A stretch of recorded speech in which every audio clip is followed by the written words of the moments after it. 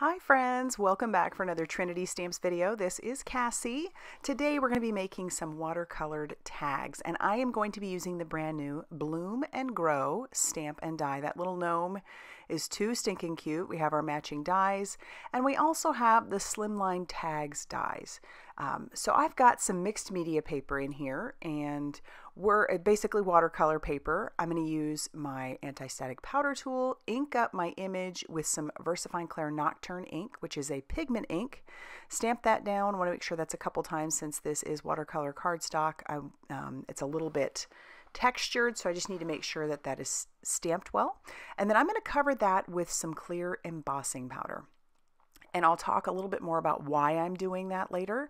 Uh, but then I'm just going to heat set that till that is smooth and melted.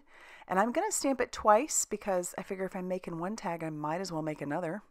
So now we're going to get started with our coloring. I have sped this up about four times since we're coloring two images. Um, and, you know, it's you would be here all day if I hadn't done this. So I've chosen some colors that are a little bit more subdued, more earthy in my tone, in my opinion.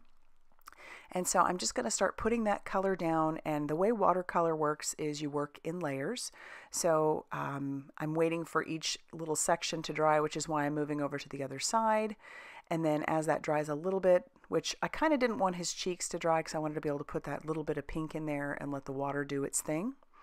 Um, but the reason I embossed this, which you wouldn't have to do, but the reason I embossed this is because I like to color things that are right next to each other. And typically, when you're using watercolor, you would have to maybe move from one section to the next section, um, not close by, because that stays wet.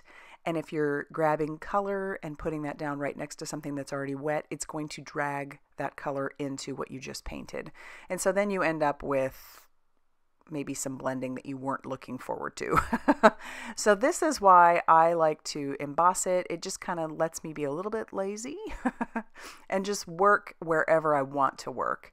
The embossing basically gives it a little well and it keeps the water from going over to the next section. All right, so we're just going to grab colors. I didn't really have any particular color scheme in mind for this one just grabbed out colors that I thought would be pretty and I liked the earthy idea. So we've got some yellows, some dark pinks. We've got that almost like a gray blue for his hat and for the pot. And I don't think I mentioned it, but the watercolors that I'm using are just some Daniel Smith watercolors that I have. Any watercolors would work, but this is this is one of the palettes that I have in my stash. And uh, so I just picked out some earthy tones for this one. Eventually, I am going to bring in some metallic paints because I want some shiny in there, but uh, until we get to that point, we're just going to start or continue to put down this color. So we've got that nice deep green, and then we'll bring in a little bit more yellow for this flower.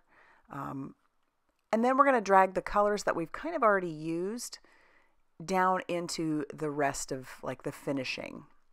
So you'll notice on that darling little watering can, there's some scallops and some lines. So we'll take some of the colors that we've already used and we'll color that portion with it. So we'll just add some gray for the rocks and then we'll go in and for those lines we're going to use, well, we'll color his beard first.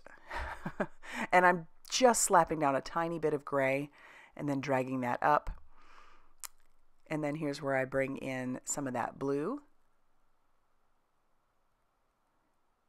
And then I'll bring in um, some of that pink for the scallop.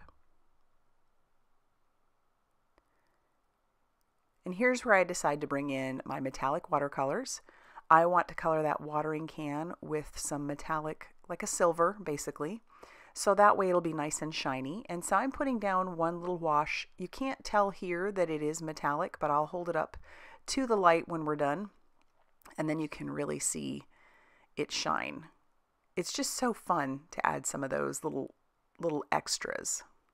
I could have very easily just stuck with a regular gray and that would have been fine. Um, but this this is one way to add a little bit of shine. All right, so let me hold that up for you and you can see the sparkle.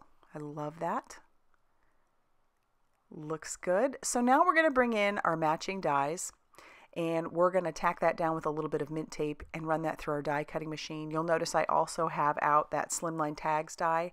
So I've die cut a couple of those just in the size that would work well with our little gnomes. And now I'm going to bring in those watercolors again and color the background. I want it to look sort of like a scene, but this is a sloppy, easy scene to do. So I'm just basically slapping down some of that green, dragging it up, and I'll add some more here just to get it a little bit darker.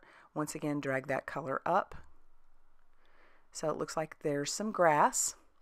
And then for that same, um, for the color that I used for his hat and just other areas, that like blue gray, I'm going to use that for the clouds. I spritzed a little bit of water on there and I'm going to pounce that color around, trying to leave a lot of white space to make it look like there's actual clouds behind there. But by putting down that water first, it allows that paint to just move a little bit freer. So I'm not going to go too crazy, just add a little bit here and there. And then make sure that this is nice and dry. And then we, uh, I decided I wanted to bring in that little reinforcer that comes in the slimline tags die. So I'm going to put down some paint on some of that scrap watercolor cardstock that I had and I'm going to end up die cutting that little uh, reinforcer. It's it's not necessary to add the reinforcer, but it's just it kind of gives it this little finishing touch, which is nice. Um, since this is watercolor cardstock, it's nice and you know thick. But you do want to make sure that this is nice and dry before you run this through your die cutting machine, otherwise you'll just tear the paper.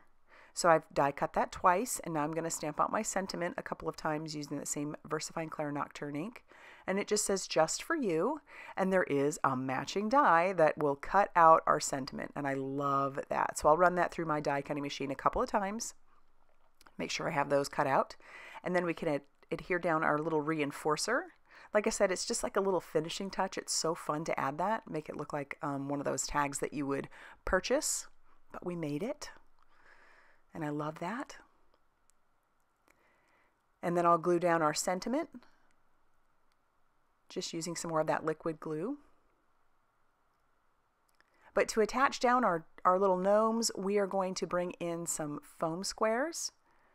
So I'll put that all over the back of both of those, peel off that release paper and stick those down. And then I have some twine. Since I used such earthy colors, I thought the twine would be perfect. So I'm just going to cut a couple of pieces of twine. And then I'm going to fold those in half, stick that through the hole through the back, and then loop it through and then tie a knot at the top for both of them. And then our tags are done. So these tags would be great to add to a card if you wanted, or you could add it to a bag. They're, they're just great for that. So I hope you liked this video. If you did, please hit that like button.